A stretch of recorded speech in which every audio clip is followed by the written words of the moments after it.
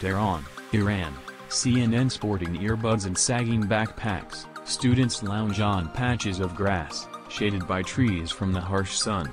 They sit in the library, hunched over laptops, massaging their temples, cramming for tests or bashing out lines of code. It could be a college campus anywhere in the world, but Sharif University of Technology sits in the shadow of the Azadi Tower in Iran's capital, Tehran. Suit represents the aspirations of a generation of Iranian policymakers who, in the wake of the 1979 revolution, were determined to put their country on the science and technology map. It is often called the MIT of Iran, reimagined after austere beginnings, based on the example of that American powerhouse. Sharif President Mahmoud Fotuhi Firuzabad told CNN on a recent spring morning in Tehran. I don't want to exaggerate the situation, says Professor Jawad Salehi, tongue far from cheap, but MIT is the Sharif of the USB that as it may. Iran's educational leaders must also brace themselves for the fact that Sharif is a conduit out of the country the university cites as a point of pride the mathematician Maryam Mirzakhani, and Allen who in 2014 became the first woman to win a Fields Medal, the Nobel Prize of Mathematics. Now, though, she's a professor at Stanford University, not Sharif. The computer engineering department in this university, they call that the airport, says 19-year-old civil engineering student Kirash. Our main reason for joining this university is for going abroad. Knowledge. Technology fundamental Iran's 1979 revolution swept aside a Western-backed monarch, and with it a system of outward dependency. Going back really to the early stages of the revolution, but it continues. The government has really invested in education, partly to address inequality, says Arang Keshavarzian, associate professor of Middle Eastern and Islamic Studies at NYU that investment took on new importance after the bloody Iran-Iraq war launched by Saddam Hussein, says Salehi. The war showed the core of our system, that knowledge and technology is very fundamental for our survivability in the future. Our society would have to advance itself based on knowledge, on science, and know-how. The resemblance between Sharif and major Western universities doesn't extend much beyond the groups of students chatting beneath the trees outside. The buildings are heavy on breeze block and concrete. There are no star architect-built theaters here, but faculty members and students speak of the place with pride. If you gave us the MIT budget, says Salehi, and you gave us the facilities and laboratories, but here in the Sharif campus, I am sure that, I mean, I don't want to exaggerate this, but I am sure that we would be at par with some of the best of the world. Suit staff would not allow CNN to chat to students on campus, but we spoke to several on the streets nearby, they are identified here only by their first names, as some of their comments could be considered controversial. The university is the best in the country, says 25-year-old electrical engineering student Mehdi. But he says Western sanctions, some now lifted in the wake of the 2015 nuclear deal, have limited students' access to scientific papers, equipment, and the ability to reach the technology. It's heavily affected us. Influence of Western culture walking to campus with four friends. Kirash says that the university atmosphere is way better than most other Iranian institutions. Kirash's generation lives in a different world to that of their parents. Through the internet, Western culture reaches Iran like never before. Though many social media websites, such as Facebook and Reddit, are officially blocked, simple workarounds mean they are easily accessible. Encrypted messaging apps like Telegram have taken off and allow of a form of communication completely out of the government's sight. Even Iran's presidential campaigns have embraced Telegram. Students like Kirash and his friend Pega, 20, recognize their privilege, but expect more. It's known to be the best university of Iran, but we don't have much facilities, says Pega. We have something, Kirash chimes in. A device for mixing some kinds of concrete. It's, from, the former king of Iran's era. And there are bigger, more fundamental issues.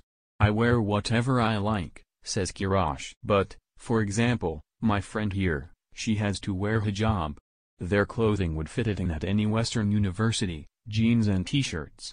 But Pega, who is female, must adhere to Iran's rules mandating conservative clothing for women.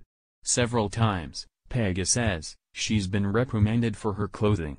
For example, they say your jeans are too tight. But it's not tight.